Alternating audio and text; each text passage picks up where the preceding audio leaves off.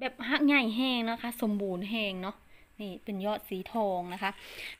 สวัสดีค่ะกับก้ามาพ่อกันกับแม่จอยคือเก่าเนาะที่ช่องของแม่จอยโชว์นะคะวันนี้แม่จอยซิมาแช่การตอนกิ่งผักหวาน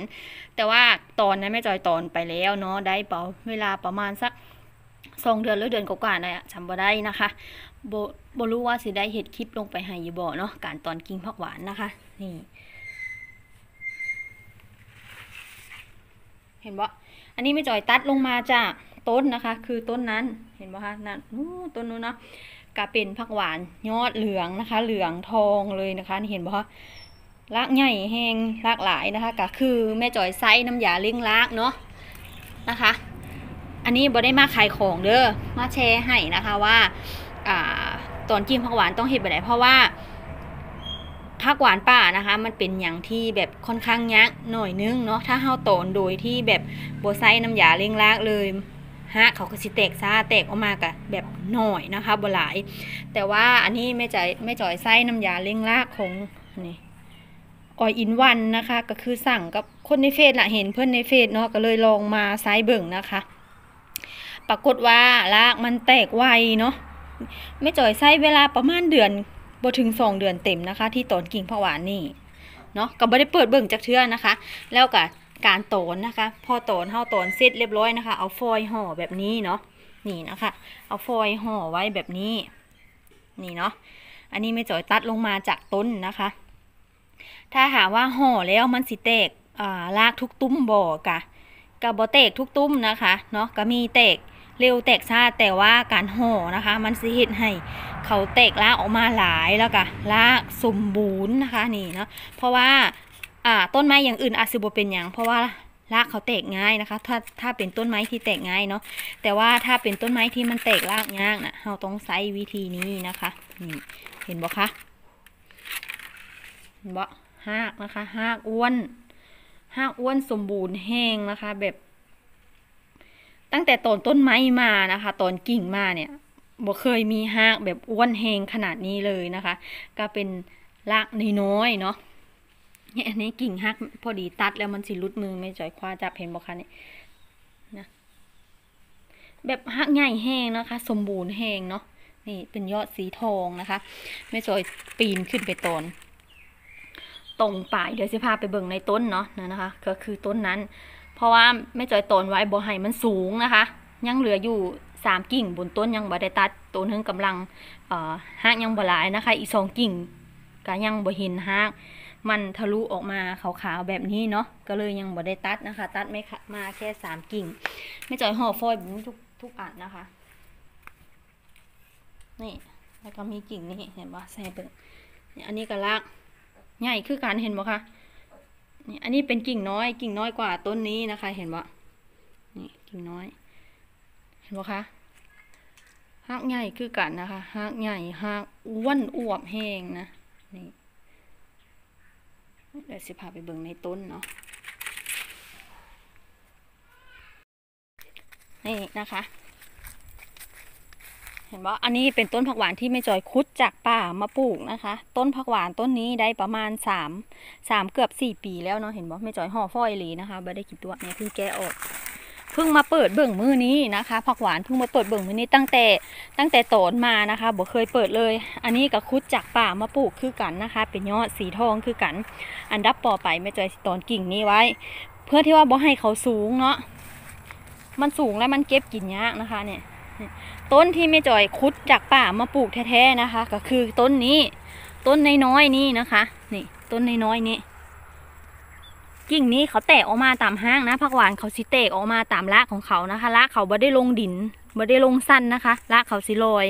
ไปแบบนี้นะคะ รากผักหวานที่รู้เพราะว่าจากประสบการณ์ที่ไปคุดในป่ามานะคะ แล้วต้นใหญ่ๆนี่นะคะ ต้นใหญ่ๆนี่คือต้นที่เขาแตกขึ้นมาใหม่นะคะนี่อันนี้คือต้นที่คุดมาปลูกนะคะปลวกมาแล้ว ต้นที่คุดมาปลูกนี่เห็นบ่อันนี้แตกขึ้นมาใหม่นะคะ อันนี้ก็แตกขึ้นมาใหม่รากเขาสิลอยมาแบบนี้นะคะลอยมาตามดินเขาสิบ่ได้สั้นลงดินนะคะเนาะเขาแตกขึ้นมาใหม่ อันนี้คุดมาปลูก อันนี้คุดมาทีหลังต้นนี้นะคะ ประมาณสองปีนี่เนาะต้นนี้ประมาณสองปีนะคะ เดี๋ยวไม่จะจะให้เบิ่งที่ไม่เจอต้นนะ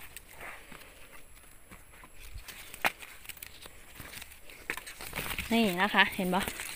แม่จอยตอนเพื่อที่ว่าให้มันมันสิได้ตอ่า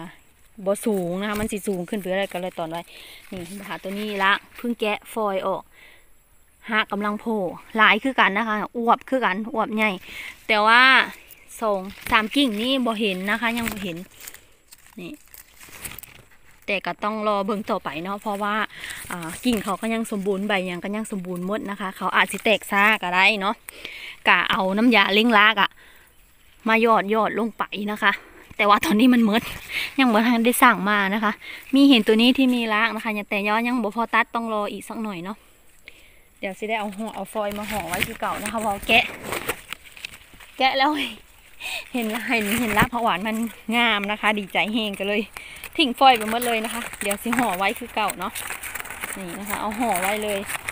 แล้วก็บ่ต้องเที่ยวเปิดนะคะ เพราะว่าปล่อยเขาไว้แบบนี้แหละค่ะ ตั้งแต่ไม่จอยตอนมาไม่จอยก็บ่เคยได้มาเปิดเบิ่งเลยเด้อค่ะ เพราะว่าผักหวานเขาเป็นเป็นไม้ที่แบบเอาใจยากอยู่นะคะค่อนข้างที่สิแบบปลูกยากอยู่ได้ ถ้าเพาะเม็ดนะคะ ถ้าปลูกในแบบเพาะเม็ดกะก็ง่ายนะคะ แต่ซีซ่าใช้เวลาโดนนะคะสามสี่ปียังบ่ไปหอดใสเนาะถ้าคนที่แบบว่าบ่เอาใจใส่อีลีอะกะตายไปนะคะ ไก่ไปเขี่ยไปโดนนะคะนี่ก็ห่อไว้แบบนี้นะคะพอห่อตอนเสร็จอีหยังเสร็จเรียบร้อยแล้วก็นี่เนาะ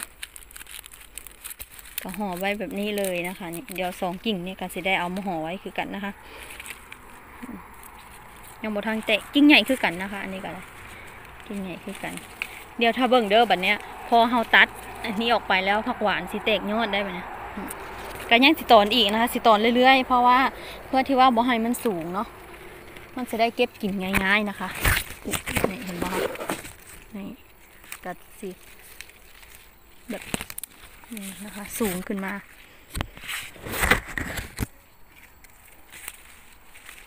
คิดเบิ้งได้ปีนบันไดขึ้นมานะคะ ปีนบันไดขึ้นจากตอนเพราะว่าต้นมันสูงเนาะอันนี้ต้องตอนไว้ตั้งแต่ตอนต่ำๆนะ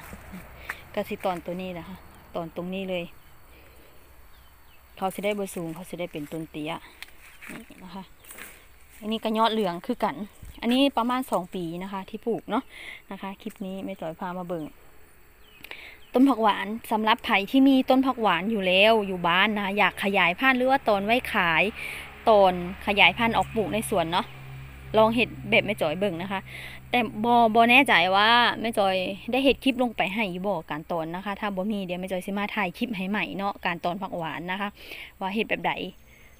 หากมันจังสีใหญ่สีอวบ คือแม่จอยอุดมสมบูรณ์นะคะเนาะสำหรับคลิปนี้นะคะแม่จอยเอามาฝากไว้ส่ำนี้ก่อนนะคะ ไว้พอกันคลิปหน้าเนาะก็ขอบคุณทุกคนที่กดเข้ามาเบิ่งนะคะแม่จอยฝากกด subscribe กดไลค์กดแชร์อย่าลืมกดกระดิ่งไว้พร้อมเด้อเพื่อที่สิได้บ่พลาดคลิปใหม่ๆที่มาอัปเดตให้เนาะสำหรับมื้อนี้นะคะแม่จอยต้องขอลาไปก่อนนะคะ สวัสดีค่ะ